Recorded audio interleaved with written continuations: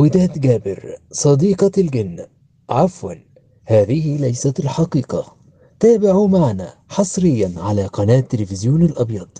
اللقاء الأول والحصري لوداد جابر.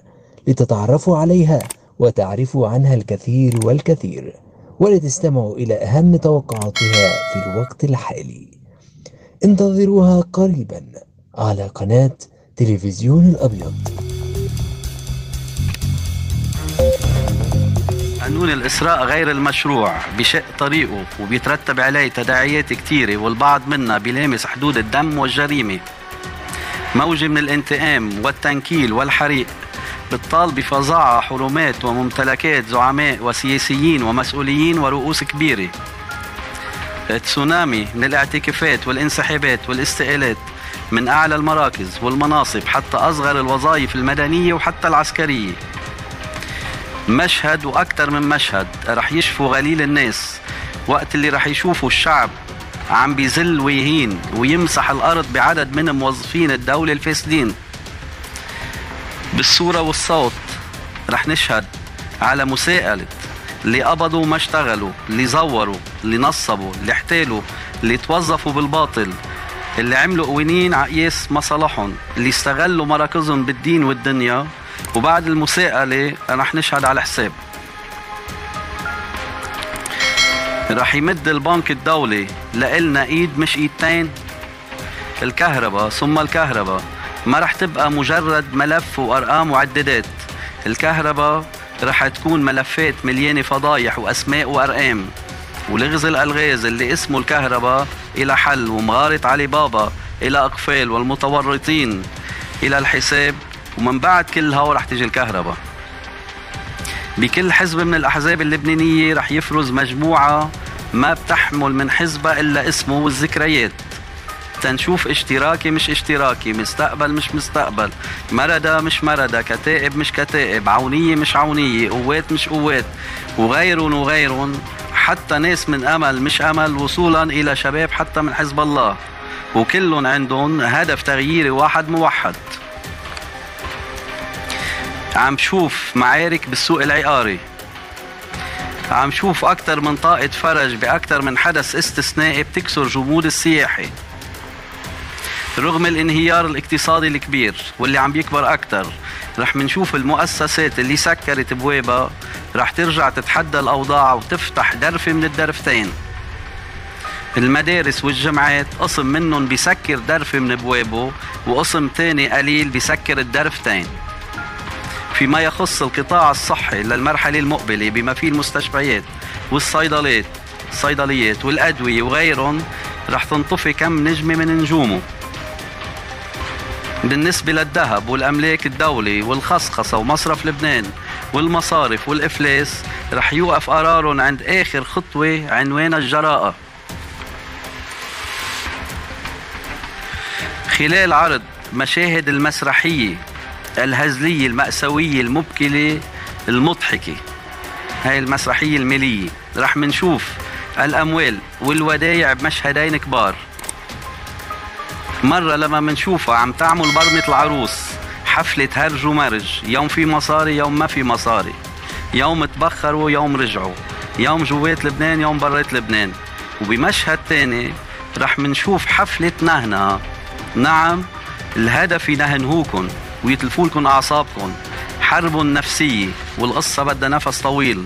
فطولوا نفسكم وديعكم راجعين. وكمان مرة لو ما بعرف كيف. يويو الدولار وسيرك الدولار وألعابه البهلوانيه وكترة الأسعار كل هالدويخة بتقف بمطرح واحد. تنلقط الدولار على الواطي ونلقطه على العالي وما يقدر يهرب منا خميرة 17 تشرين 2019 رح ترفخ بخبز انتفاضة ال 2021 الثورة الانتفاضة من النظر على التطبيقي من شعار كلن يعني كلن على مفرق واحد ورا واحد راس ورا راس. خلصت الانتفاضة فرصتها السنوية. وعطلتها القضائية وراجعة تولع الأحداث سلمية ومش سلمية. من أهم اللي عم بقراه هالجملة الغاز المرفق إلى انكشاف. بموضوع الترسيم بدي أقول مع كل اللي راح يرافق عملية الترسيم من محاذير ومخاطر ومحظورات ومشاهد صادمة رح نقدر ناخد بإمكاناتنا المحدودة أكبر بكتير من اللي رح تاخده إسرائيل بجبروتها. أما موضوع التطبيع اللي شاغل المنطقة وعم ينذكر فيه اسم لبنان فما رح يكون لا, لا مثل ما بدهم الإسرائيلية ولا مثل ما بدنا نحن. بالحد الأقصى تواصل محدود بأسلوب خارج بروتوكولات بروتوكولات التطبيع. المصالح الكبرى بتتعارك على وجه المي بين أقطاب النفط والغاز. وعم شوف إنه الصدمة اللي ولدها البلوك أربعة رح تلغيها صدمة معاكسة من شأن قلب معادلة النفط بلبنان. والنفط رح يفرض نفسه مفتاح من أهم المفاتيح الكبيرة للحل المالي بلبنان. بين ليلة وضحاها وبعد ما يشبه عزل لبنان بينفتح أكثر من باب وممر على لبنان الرسمي. تنشوف تسابق لانفتاح للانفتاح على لبنان من عدة دول وبداية مشوار الدعم. بالنسبة للكورونا وسلالاته مشاهد الرعب اللي رح ترافق نتائج انتشاره بأكد على وجود دواء سخيف وبسيط وبزيد تقول أكثر من دواء ولو ما بعرف اسمه وهويته واللي قلقني هلأ هو سبب حجبه عن الناس. هل هي بورصة تجارة حرب اقتصادية سياسية تنزيل رؤساء تطليع رؤساء ما بعرف. رغم كل الشح والقلة اللي رح نعيشهم بيبقى الجوع ممنوع. وبكفي لبنان باللي بيبقوا ولو بوقعة وحدة. الأمن أمنين وأكتر واحد ممسوك بإيد على القليلة بالإعلام والمواقف والتصريحات. وواحد مش ممسوك لا بإيد ولا بإيدتين. والانفجارات والاغتيالات والفلتان الأمني وغيرهم رح يكونوا هن البرهان.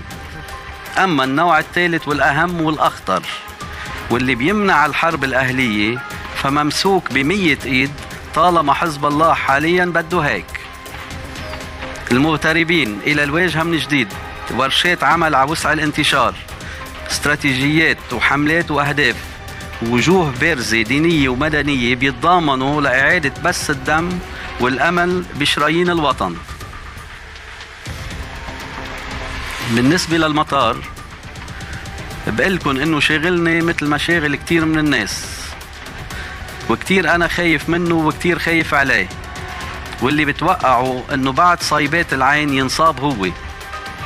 واللي بدهم ما يزدهر المطار هن كتار ورح تتفاجئوا كتير إذا بقلكن مش بس إسرائيل.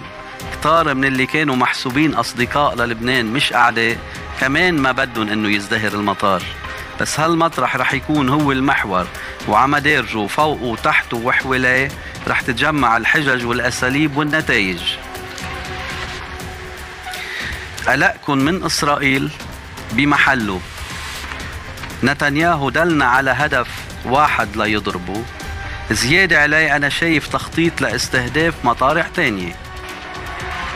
مخططات عسكرية بيكون أحد أهداف نشر الرعب بين الناس. ودفع لترك بيوتهم والنزوح مؤقتا عن بعض المناطق حتى عن بيروت. وبختم هالعرض الشامل تقول من جديد وحدة الإعجوبة رح تعمل الحل الإعجوبة بلبنان.